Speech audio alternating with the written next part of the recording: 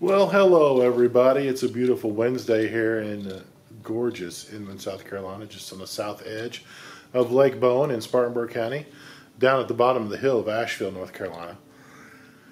Uh, what I want to talk to you today is about professional recommendations. All of you uh, hopefully use a professional, either a banker or an accountant or a bookkeeper or some other professional. And uh, when they tell you, you know what, we need to get your taxes done by the end of February so we can get them in so you can get your return early as possible. Hopefully, you're going to listen to them. You know, if you start working with them in uh, October, November because you have a lot of deductions and uh, they're also your bookkeeper and and other things, um, they probably have a good insight into what's going on.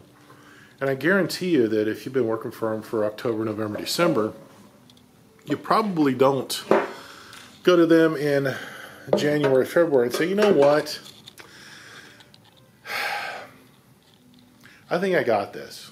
I don't think I need your help anymore.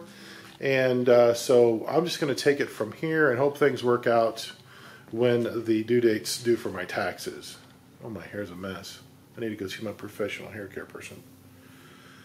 No, probably going to follow through, and you're going to pay them their full fee that they charged up front, or they told you they were going to charge up front, because uh, that's what professionals do it's interesting in chiropractic. You know, we we know what um, is going on in the body. That's what we're trained to do. We're trained to understand the um, physiology and the mechanics what's going on in your body. So when you come and you've got a complaint, even though I don't deal with complaints, I deal with how the body works. We have a pretty good idea what's going to take, and we give you a plan saying, you know, it's going to take this long or that long or this many visits. And uh, what I see happening a lot with my friends and colleagues, and even sometimes here, is that people start to feel better. It's like, you know what? I think I got this.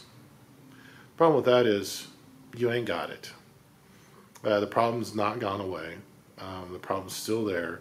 All the underlying reasons for why the problem showed up, showed up in the first place are still there. You're not clear of subluxation, which makes you more susceptible to it happening again and other things.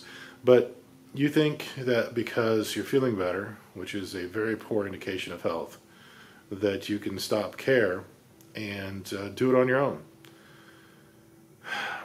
Doesn't work in any other, any other professions, but it definitely works that way in chiropractic. I wonder why that is.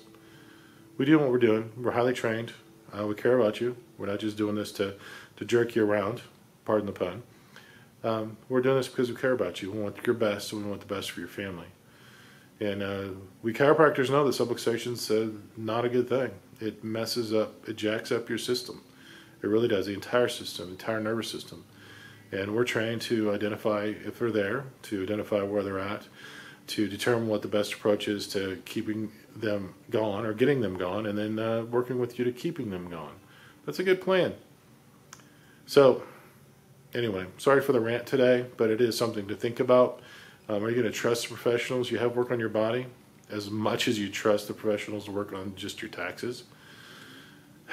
Or the professional that works on your car, or the professional works on your motorcycle, or the professional works on your hair?